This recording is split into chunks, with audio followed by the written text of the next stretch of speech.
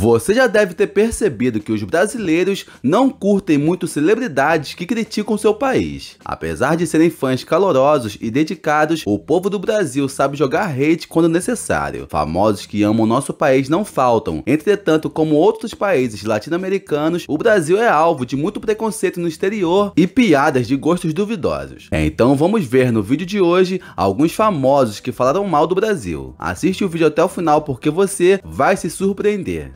E a palavrinha que você vai comentar vai ser essa daqui que tá aparecendo aqui, hein? Lembrando que quem comentar, eu vou deixar meu coraçãozinho e talvez um comentário também. Ah, me segue lá no Instagram que é Diogano com 3 horas no final, hein? Tá beleza?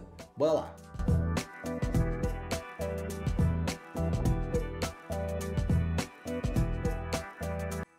Tyler James Williams.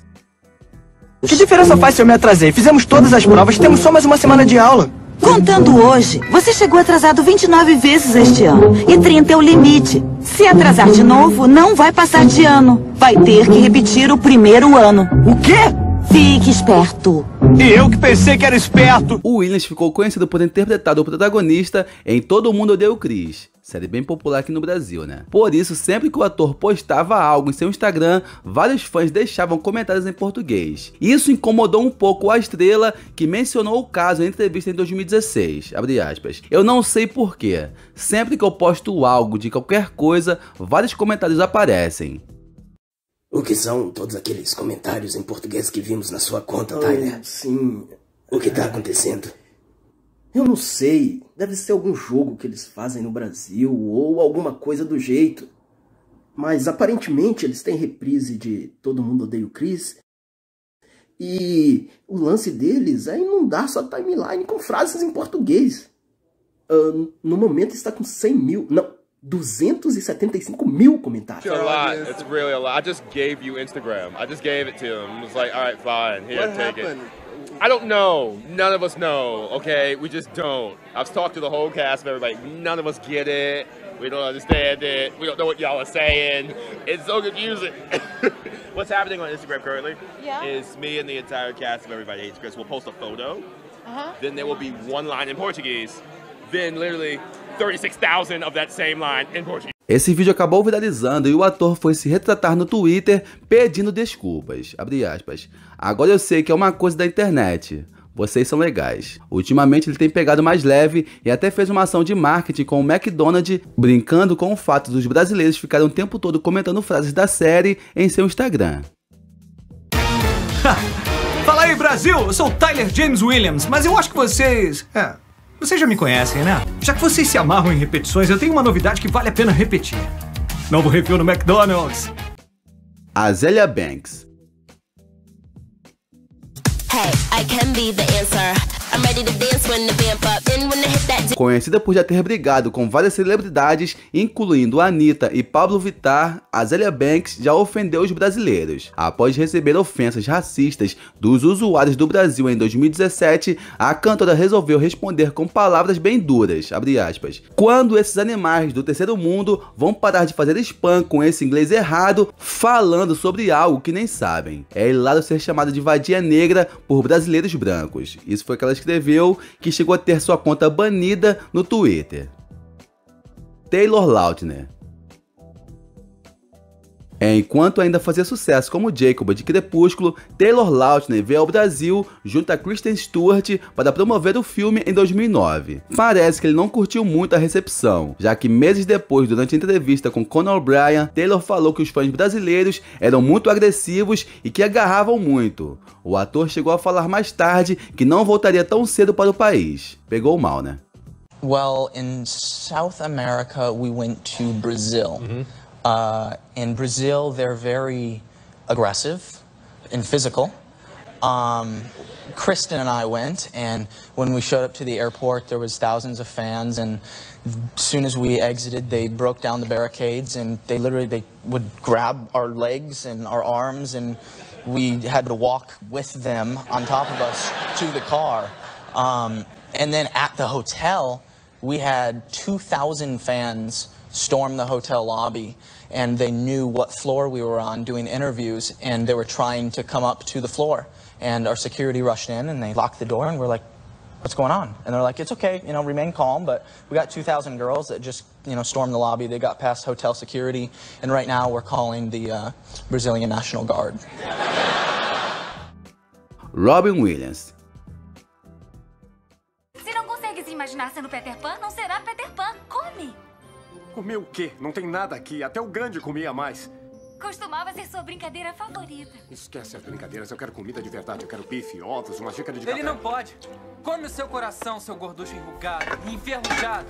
Você é um rapazinho muito mal educado, sabe? O comediante Robin Williams, que faleceu em 2014, despertou a fúria dos brasileiros ao debochar da escolha do Rio de Janeiro para sediar as Olimpíadas de 2016. O Williams afirmou na sua participação no programa de David Letterman que o Brasil mandou 50 strippers e meio quilo de pó para os responsáveis por escolherem o local do evento. And I hope Oprah's not too bummed about losing the Olympics, you know, that Chicago sent Oprah, Chicago sent Oprah and Michelle, Brazil sent 50 strippers and a pound of blow. Wasn't really fair, you know? O comentário pegou tão mal que até mesmo após o anúncio da sua morte, o furo foi lembrado. Cláudia Leite. Balancinha, yeah. Balancinho, cabeça, cintura, joelho. Não só os famosos internacionais que falam mal do Brasil, né? Durante a entrevista na Rádio Transamérica, a cantora comparou os brasileiros com os estadunidenses, afirmando que o povo do Brasil é mal educado. Aqui estava todo mundo querendo fugir do furacão, mas ninguém passava na frente de ninguém. Ninguém cometia infração no trânsito, ninguém empurrava ninguém. Imagina um furacão no Brasil. Primeiro, a gente ia morrer esmagado. Um ia passar por cima do outro porque a gente não tem instrução. Bom, eu acho que ela não mentiu nisso, né? Jamie Foxx. Preciso te perguntar uma coisa. O que que você quer comigo? Eu tô atrás de três homens brancos. Três irmãos, capatazes. O nome é Brito. Conhece? Brito? É, Brito. John Brito, Ellis Brito e Roger Brito. Divulgando a animação infantil Rio em 2011, o ator se empolgou durante a visita ao Brasil e deu uma declaração aparentemente preconceituosa. Aspas. Eu me senti atraído pelo projeto porque sempre gostei do Brasil. Na realidade, eu já conhecia o Brasil, só que por meio de sites feitos para adultos. Até hoje, Fox não se desculpou. Chris Rock a série Todo Mundo Odeia o Chris, que retrata a infância e adolescência de Chris Rock, fez mais sucesso aqui no Brasil do que nos Estados Unidos. Em 2014, durante a realização da Copa do Mundo no Brasil, o ator e comediante Chris Rock disse, aspas, Eu não me importo com futebol, ninguém assiste isso. O Brasil é conhecido somente pelas bundas. Todos os caras aqui sabem do que eu estou falando. Hope Solo a goleira Hope Solo, da seleção feminina dos Estados Unidos, irritou os brasileiros com uma postagem em sua rede social em 2016, antes de vir disputar as Olimpíadas no Rio de Janeiro. Ela publicou uma foto mascarada e com um kit de proteção ao vírus da Zika. A repercussão não foi boa, e a cada vez que ela pegava na bola nos jogos, a torcida brasileira gritava Zika.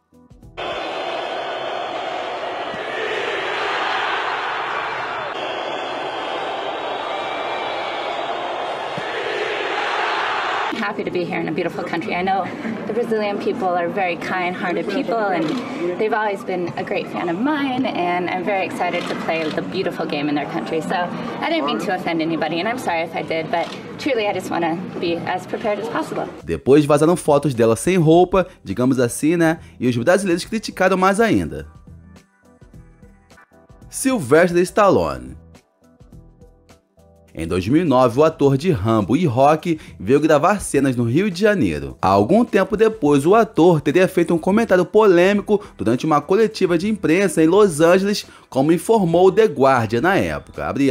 Você pode explodir o país deles e eles ainda vão falar: Obrigado, aqui, leve o macaco para casa. Isso foi o que ele teria dito o artista, né? Well, that's why you shot in Brazil because you can actually hurt people there. You right? can you can kill people and blow the country up and say thank you here and take a monkey home. Thank you. Right. Speaking of that, what was it like shooting in Brazil? Because I mean, I kept seeing all this footage that kept showing up on YouTube of like it looked like throngs of people, like this audience every day. Yeah. when y'all were showing up. Did that cause any problems? What was that like for each of y'all? Yeah, one time we had, uh, for a scene we shot in, in town where Steve pulls up with all these huge MMA fighters that are playing Brazilian soldiers, or the island of Belina soldiers. We had 70 bodyguards, seven, seven oh, to just keep the people back because the areas are so dangerous that on the way through the set, you would you would see carjackings, robberies. Uh, it was it was a rough joint. I mean, half the crew that worked for us at Moonlight as basically you know heavy duty cops that you know they show up and on the t-shirts a skull and crossbone with a bleeding dagger. That's their insignia. Mais tarde, ele foi obrigado a se retratar com o público. Ele disse: "Eu peço sinceramente desculpas ao povo brasileiro. Eu não tenho nada além de respeito por esse grande país."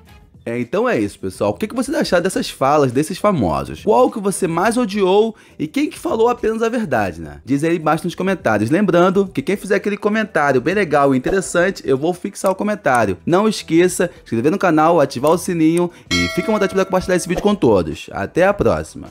Fui!